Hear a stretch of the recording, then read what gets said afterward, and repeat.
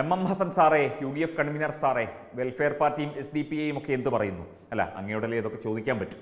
ഞങ്ങൾക്കറിയില്ല. അല്ലെങ്കിൽ പൊതുജനങ്ങൾക്കറിയില്ല S D P I Welfare Party Welfare Party ചിലയിടങ്ങളിലൊക്കെ ചില സമയത്ത് മുന്നിലായിരുന്നു. ചിലയിടത്ത് ജയിച്ചതായുള്ള കാര്യങ്ങളൊക്കെ പറയുന്നുണ്ട് കേട്ടോ. എന്തായാലും ഇലക്ഷന്റെ റിസൾട്ടൊക്കെ ഏതാണ്ട് രാത്രിയോടുകൂടി തന്നെ അത് പൂർണമായി അറിയാൻ സാധിക്കുകയുള്ളൂ. പലയിടത്തും ലീഡുണ്ട് ചിലയിടത്ത് വോട്ടിംഗ് പോളിംഗ് ക്ഷമിക്കണം കൗണ്ടിങ് തടസ്സപ്പെട്ടിട്ടുണ്ട്. അങ്ങനെ ചില കാര്യങ്ങളൊക്കെ ഉണ്ട്. അപ്പോൾ സമ്പൂർണമായി നമുക്ക് അന്ന് അന്നേരമേ അറിയാൻ പറ്റൂ. എന്നാൽ പോലും കൃത്യമായി തന്നെ ഇപ്പോൾ വെൽഫെയർ പാർട്ടിയുമായും എസ് ഡി പി ഐ അങ്ങനെയുള്ള സ്ഥാപനങ്ങളുമായി കൂട്ടുകൂടിയതുകൊണ്ട് യു ഡി എഫിന് എന്തെങ്കിലും പ്രയോജനമുണ്ടായോ? ഉള്ള വോട്ട് കൂടി പലയിടത്തും പോവല്ലേ ഉണ്ടായത്?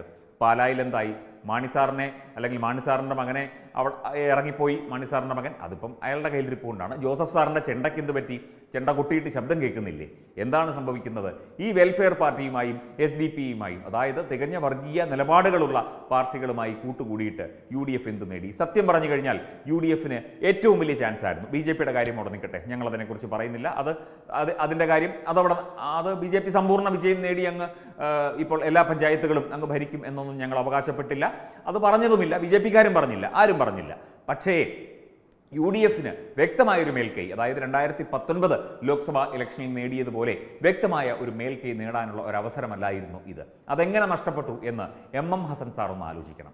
സാറ് ചുമതലയേറ്റ അതായത് യു ഡി എഫ് കൺവീനറായി ചുമതലയേറ്റ ശേഷം ഏറ്റവും ആദ്യം ചെയ്തത് എസ് ഡി പി ഐയുടെയും വെൽഫെയർ പാർട്ടിയുടെയും വർഗീയ നിലപാടുകളുള്ള നേതാക്കളെ കാണാൻ പോയതായിരുന്നു. അത് ഇവിടുത്തെ സാധാരണ ജനങ്ങൾക്ക് മനസ്സിലാവില്ലേ? ഇവിടെ കോൺഗ്രസ്സുകാരായിട്ട് എത്ര ഹൈന്ദവ പ്രവർത്തകരുണ്ട് വിശ്വാസികളായ കോൺഗ്രസ്സുകാരുണ്ട് എത്രയോ കാലമായി കോൺഗ്രസിന് വേണ്ടി പ്രവർത്തിക്കുന്നവരുണ്ട്. അവരൊക്കെ ഇവിടെ നിൽക്കുകയല്ലേ?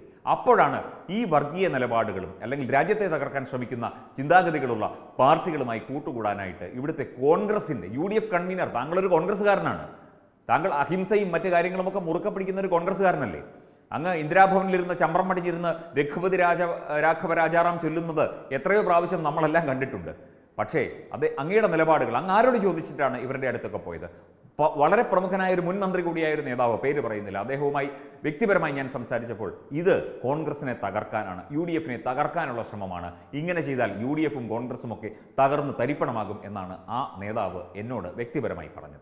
ഇങ്ങനെ ഇങ്ങനെ തന്നെയാണ് ഓരോ കോൺഗ്രസ്സുകാരനും ചിന്തിക്കുന്നത്. അത് മുസ്ലിം സമുദായത്തിൽപ്പെട്ട കോൺഗ്രസ്സുകാർ പോലും അങ്ങനെയാണ് ചിന്തിക്കുന്നത്. ഈ വർഗീയ പാർട്ടികളുമായി ഈ തീവ്ര നിലപാടുകളുമായി അല്ലെങ്കിൽ തീവ്ര മതതീവ്രതയെ കൂട്ടുപിടിക്കുന്ന നിലപാടുകളുമായി കൂട്ടുകൂടുന്നവർക്ക് എങ്ങനെയാണ് ജനങ്ങൾ വോട്ട് ചെയ്യുന്നത്? അങ്ങനെയാണ് പലയിടത്തും സംഭവിച്ചത്. പിന്നെ ചിലയിടങ്ങളിൽ ബി ജെ പിയോ എൽ ഡി എഫോ അത്ര ശക്തമല്ലാത്ത മേഖലകളിലാണ് യു ഡി എഫ് വലിയ മുന്നേറ്റങ്ങൾ നടത്തിയിരിക്കുന്നത്. പിന്നെ പലയിടങ്ങളിലും കോർപ്പറേഷനുകളിലൊക്കെ ചിലയിടത്ത് മുന്നേറ്റമൊക്കെ വളരെ വളരെ കാര്യമായി നടത്തിയിട്ടുണ്ട്. എന്തായാലും അഭിനന്ദനങ്ങൾ. എന്തായാലും ഈ വർഗീയ പാർട്ടിയുമായി കൂട്ടുകൂടുന്ന പരിപാടി അത്ര നല്ലതല്ല എന്നതിന്റെ ഏറ്റവും പ്രധാനപ്പെട്ട സൂചനയാണ് ഈ ഇലക്ഷൻ റിസൾട്ട് കാണിച്ചു തരുന്നത്. ഇവിടെ ബി ജെ പി എന്ന ബദൽ ഉയർന്നു വരുന്നു.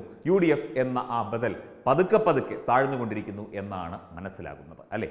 ആണെന്നാണ് തോന്നുന്നത്. നമുക്ക് ബാക്കി വരും ദിവസങ്ങളിൽ അതിന്റെ ചർച്ചകളും മറ്റു കാര്യങ്ങളും നടക്കട്ടെ. നമുക്ക് നോക്കാം. വെബ് ഡെസ്ക് തത്വമൈ ന്യൂസ്